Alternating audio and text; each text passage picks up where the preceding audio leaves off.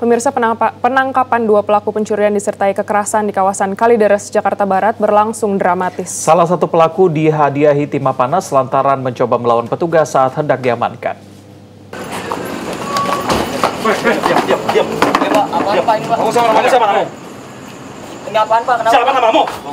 Beginilah suasana penangkapan HR salah satu pelaku pencurian disertai dengan kekerasan oleh petugas kepolisian sektor Kalideres di Jalan Tegal Alur, Kalideres, Jakarta Barat. Di mana sananya mana? Di sana di warnet pak.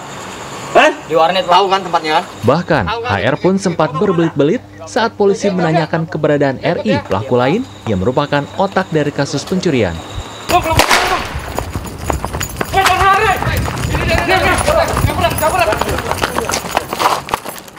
Sayang, lantaran sempat melawan petugas, RI terpaksa harus dihadiahi timah panas saat akan diamankan di Jalan Menceng, Kalideres, Jakarta Barat.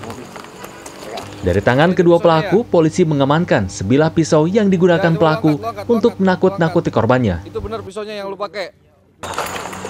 Ya, kita berhasil mengamankan dua pelaku pencurian dengan kekerasan yang dilaporkan tadi sore jam 16. Alhamdulillah tidak sampai dua, satu kali 24 jam bisa kita amankan dua pelaku dengan barang bukti eh, senjata tajam, alat kejahatannya senjata tajam untuk menakut-nakuti korbannya.